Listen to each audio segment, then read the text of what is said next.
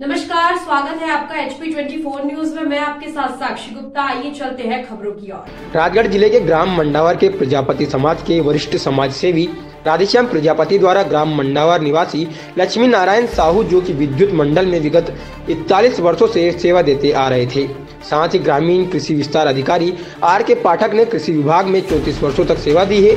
आपको बता दें कि दोनों की सेवा निवृत्त होने पर मंडावर के प्रजापति समाज के समाज सेवी राधेश्याम प्रजापति द्वारा पुष्पमाला एवं साल श्रीफल भेंट कर साफा बाँध कर स्वागत सम्मान किया गया। इस दौरान मंडावर लाइनमैन कन्हैयालाल मंडलोई का भी स्वागत किया गया। इस मौके पर राधेश्याम प्रजापति, रूपनारायण मंडलोई, बनवारी प्रजापति, सुनील प्रजापति, अमर सिंह वर्मा, कृष्ण वल्लभ सोनी आदि लोग मौजूद थे। मंडावर से हुक्म प्रजापति की रिपोर्ट। मुझे श्री प्रजापति जी का, पत्रकार साहब, श्री पत्रकार साहब का, सोनी जी का, अमर सिंह जी का, एवं अन्य मित्रों का अपने कार्य में बहुत सहयोग मिला।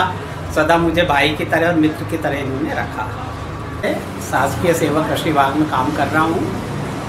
और मेरा किसानों को यही है कि उन्नतशील खेती करें वक्त वक्त पे सलाह लेते रहें। और आजकल तो काफ़ी खेती के मामले में नेटवर्क का उपयोग होने लगा है।